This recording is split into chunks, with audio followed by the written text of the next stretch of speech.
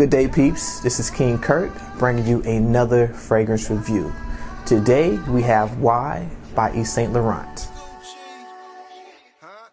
Yves Saint Laurent was a, a French fashion designer. Unfortunately, he's no longer here with us, but he left behind some really nice, good perfume. Okay, and this version is the EDP version, so it's a flanker of the original, which was the Toilette. This being a flanker, the original came out in 2017, and this one came out 2018. Okay, as you can see, the bottle itself is it's a uh, it's blue, it's black and bluish, and it has some some a nice shade there if you can see it. It's a really nice heavy heavy bottle, so you can you know if you have to, you can throw it, knock somebody out, but don't do that do not do that. But it's, it's very nice, very nice sharp edges here. The cap has like a carbon wrap on it. I don't know, it's pretty neat. No magnets here either, but it's pretty steady. You can grab it from the top. Don't do that. But if you did, it, it won't fall. The atomizer is pretty nice. The top notes are bergamot and green apple. Apple really stands out.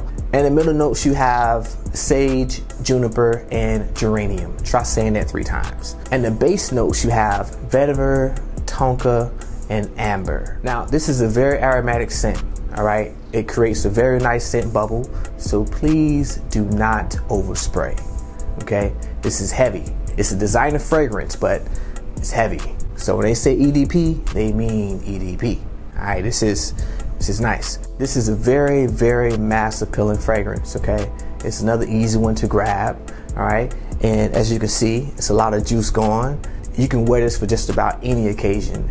It doesn't matter. Church, school, the club. If you wear it at work in the office, you just don't want to spray too much. Please, just maybe two to three sprays at the most. That's all you need.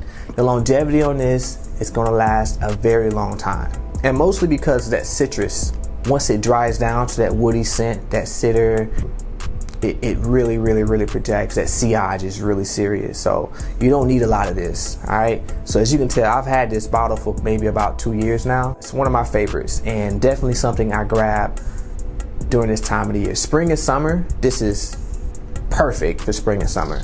I wouldn't really you know dwell on it in the winter too much, but this is my go-to scent right now. You're gonna turn some heads.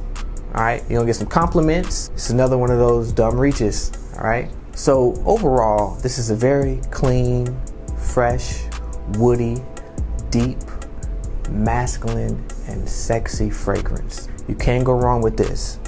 You just can't.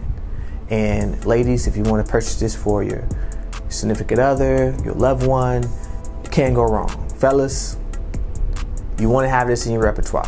All right, I'm gonna give this a good four thumbs up. That is all I have to say. Make sure you hit the like button.